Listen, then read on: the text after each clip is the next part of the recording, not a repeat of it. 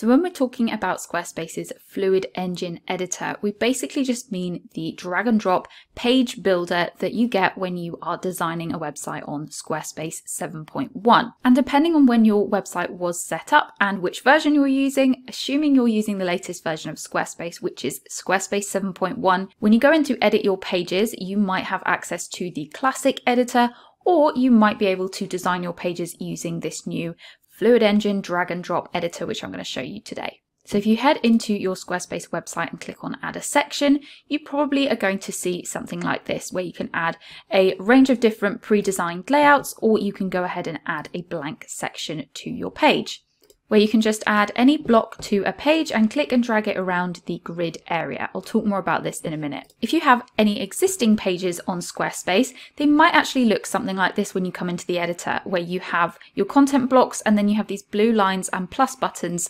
asking you if you want to add more content blocks. And you can still technically drag and drop these blocks around, but it's much less flexible. You can't really see the grid when you are moving things around, and you can't do things like overlap blocks and things like that. Also notice there is a little upgrade button in the top left corner, which is suggesting that you might want to upgrade this section of your page into the Fluid Engine editor. But I would only recommend you do this with your existing pages once you have finished watching this video and maybe had a little test and a play around on creating new pages to play around with the Fluid Engine editor first because it is very different and you don't want to muck up your live pages on your website. So I'm just using one of the Squarespace Fluid Engine pre-built sections, which you can add as many as you like to a page by just clicking on add section.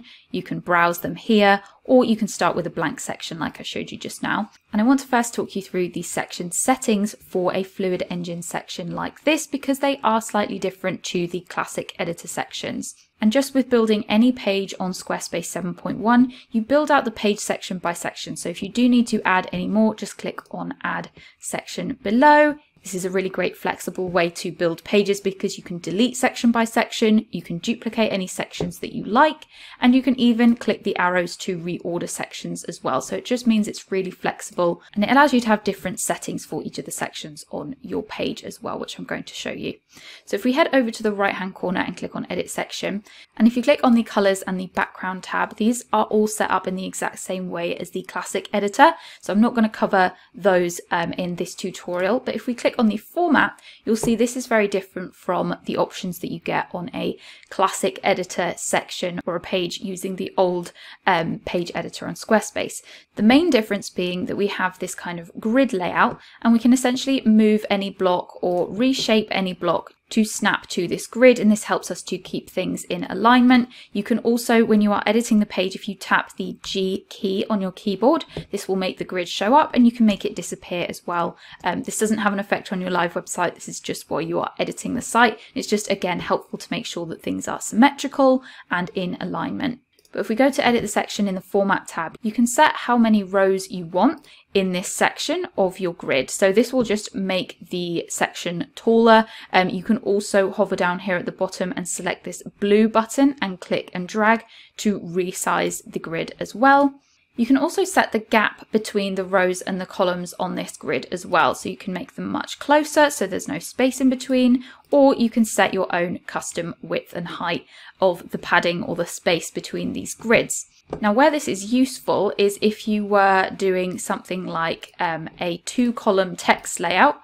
So let me just demonstrate for you here. If we created these two text blocks and line them up next to each other to create this kind of two column layout, you might want to increase the space in between these two text columns, in which case playing around with the width of the spacing between the rows can help to increase that space.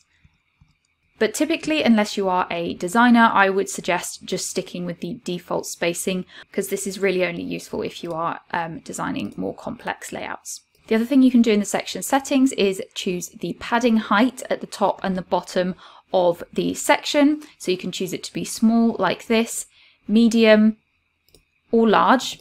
And this is the area where you can't actually place any content blocks, but it just creates space between this section and the top of your website or this section and another section, for example. It's referring to this space here. You can also set your own custom height Or something new you can do with the Fluid Engine editor is also toggle this fill screen off and it will allow you to move all of the content blocks to the very edge, the top and the bottom of the section, which can be really useful when you're designing layouts like this one, where you want there to be kind of a split screen type of look where the image is going all the way to the top, the bottom and the outside edge of the page, because in Fluid Engine as well, you can actually drag all your content blocks to go outside the grid at each side to stick to the very edge of the page. Now again, I wouldn't necessarily recommend playing around with this unless you're a designer because it needs to be really intentional when you are moving blocks to the very edge of the website. You wouldn't want to do this with text blocks, for example, or realistically anything other than an image or a gallery block. So just be aware of that. So when you want to add content to a section in Fluid Engine, all you need to do is click this Add Block button in the top left corner, as I showed you before, and you can add any kind of block to this section and just click and drag it around. You've probably also noticed that you are therefore able to overlap different blocks, which is great for creating more interesting and unique designs. When you click on a block as well, you also have different settings here. You can duplicate the block, you can delete the block, and you can also set it to move backwards or forwards to help with aligning everything when you are overlapping blocks. There's also another setting which is mainly relevant for image blocks, button blocks, and sometimes text blocks, where if we click on the image block and click the pen icon here and go to design, you have this option of fit, fill, or shape. Now a shape will crop the image into whatever shape you choose here. Fill will expand the image no matter what size or shape of image you have uploaded in the content section here. It will expand or crop that image to fill just the size of the shape that you have created with this image block. So it will effectively just span to the full edges of the block you've created. However, if you click on fit, this means that no matter what shape I turn this um, image block into and how I move it around, the image crop will never change. So you're not going to end up with um, edges being cut off of images that you don't want to be cut. You can make it bigger by expanding it like that, but me just moving it around is not going to cut the image in half or anything. It's going to retain its original crop. And this is a really important setting to be aware of because what I often see people struggling with on Fluid Engine is particularly this setting when it comes to button blocks.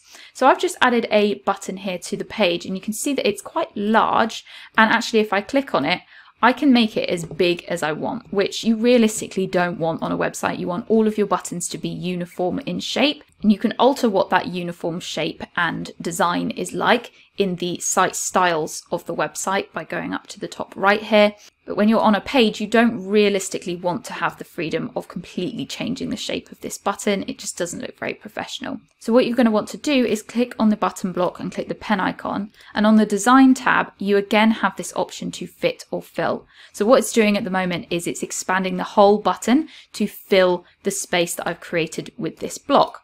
But if we just select fit, then it's going to go back into the uniform shape using the padding height and width that I have set specifically in the site styles. With button blocks, you can also change the alignment of them like so.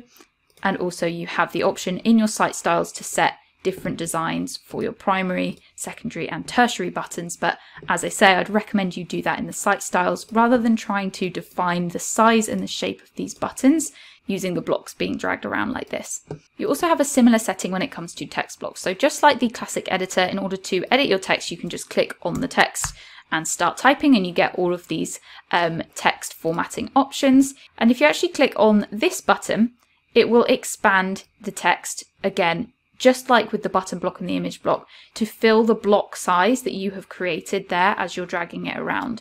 If you just want to keep your text to a uniform size based on the site style settings that you've created for heading 1, heading 2, heading 3, make sure that this is turned off so that it is using that uniform styling. Um, it can be great to use this for some impactful text around your website occasionally, but usually I would have that switched off. Another setting that you get in Fluid Engine is alignment within the blocks you create. So I'm just changing this image to fit within the block and then you'll be able to see here if I click on the image block we have this button here and it's saying that the image is aligned vertically. What I can also do is click on this and align it to the top of the block and align it to the bottom of the block if I would like.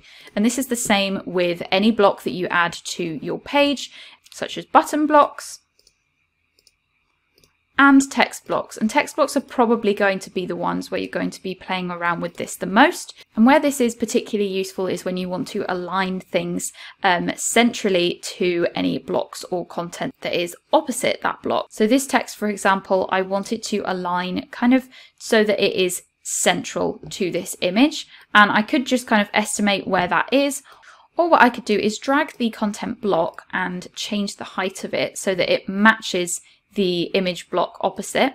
And then I'm just going to click on center align for the text and this will perfectly center the text within the height of the block that you've created, which if you make that the exact same as a block on the other side, then that's going to help you keep things centered to the opposite side blocks. One common issue that I also see people doing on um, Fluid Engine is accidentally overlapping um, blocks. So for example, with text blocks, because this text is aligned to the top of the block and I've made the block quite tall, so there's lots of space below the text, it would be easy for me to just click and drag this button up here to sit directly under the text. But what is actually happening there is the text block is then overlapping the button block by accident, not deliberately like I've overlapped these image blocks. And you don't want this to happen because then if we resize the page, you'll see that the text obviously has to move because we're making the screen smaller and it is now overlapping the button block. And this is a really common thing that happens with Fluid Engine.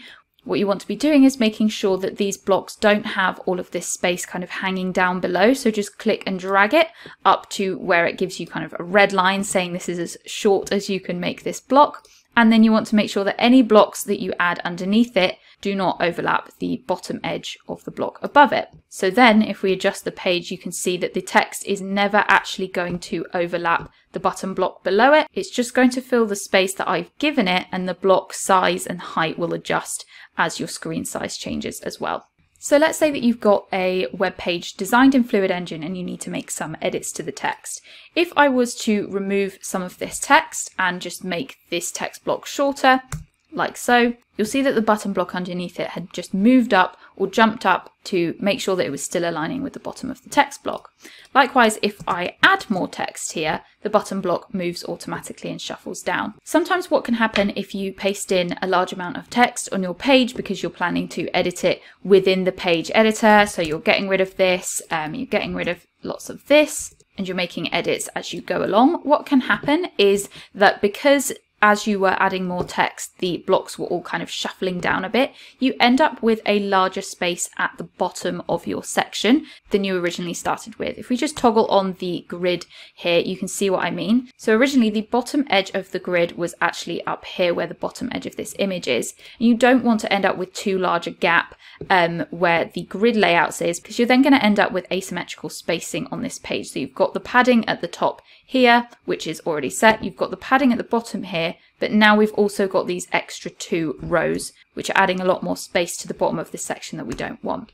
In that case, just remember to always click and drag up the rows here so that the bottom edge of any of your content blocks are sat nicely with the bottom edge of the grid. The other key difference to be aware of with Fluid Engine is the difference in the mobile editing options. So you'll see up in the top right corner that there is the option to edit in desktop view, which is what we are on, and also the mobile view as well. And it's got that little blue dot because it is indicating that I've made changes to the desktop version of the website that I need to double check look okay on the mobile view of the website. So if we click on this, this is going to show us it in mobile view and you'll see sometimes that the mobile view looks totally different to the desktop view depending on what blocks you've added, um, in what order, maybe you've moved things around a bit and overlapped things on the desktop version. You always need to make sure that you come in and check the mobile version and you can actually independently edit everything to do with the location of a block, the size of a block and the shape of the block as you're moving it around, and the alignment of the blocks. You can edit all of these independently from the desktop view. So that just means that if I make these changes in mobile view, the desktop view will stay exactly the same and that won't be changed, which is so useful because for example, on the desktop view here, automatically with the previous Squarespace page editor, if I had added some text here and an image here, on mobile view, the text would show at the top like it is now and the image would show at the bottom and I would have no option to change that unless I were to use code to do that. Whereas now with Fluid Engine, I can just move these around, completely change the shapes and sizes of them and change the number of rows um, on the mobile view section and then go back to the desktop version and none of that has changed. It's completely independent on the mobile option. The only thing that isn't independent is the actual content of the blocks. So I can't change an image on the mobile version and retain the original image that I had on the desktop version. Likewise, I can't edit the content of the text block on mobile um, and have the original content still stay on the desktop version. The content has to be exactly the same on both types, but the shape, location, alignment, things like that can be different. So just always make sure that you come into the mobile version, make sure things aren't overlapping by accident, like for example this button. We want to still be following the rules of having none of these blue line blocks overlapping each other and then go back to the desktop version to make sure that everything looks good on both types of devices. So that's my tutorial of Squarespace Fluid Engine. This is available on all your website pages except from auto layout style pages. So for example, when you're adding a section where you've got this little I button here, this is called an auto layout page. This is edited in a totally different way using this edit content button than the Fluid Engine editor. And also this doesn't apply to product pages or blog posts yet um, on Squarespace. This is just for standard pages where you are adding sections with these blue buttons here. Hope you found this helpful and let me know if you've got any questions in the comments.